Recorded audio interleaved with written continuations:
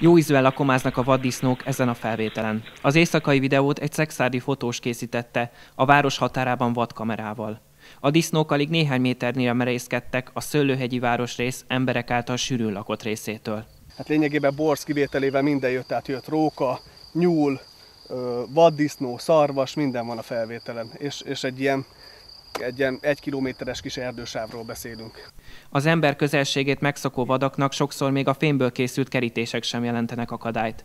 A vadászkamara megyei titkára azt mondja, valójában nem a vadak merészkednek be az emberek közé, hanem éppen fordítva, az emberi tevékenység miatt csökken folyamatosan az állatok természetes élőhelye. Király István azt mondja, ha egy állat mezőgazdasági kárt okoz, szigorú feltételekkel ejthető el. A megoldás az, hogy a rendőrhatóság engedélye alapján szabályozott és ellenőrzött körülmények között, hiszen azért mégis emberi környezetben történik a tevékenység, van lehetőség a lakott területen kárt okozó vad elejtésére vagy elfogására.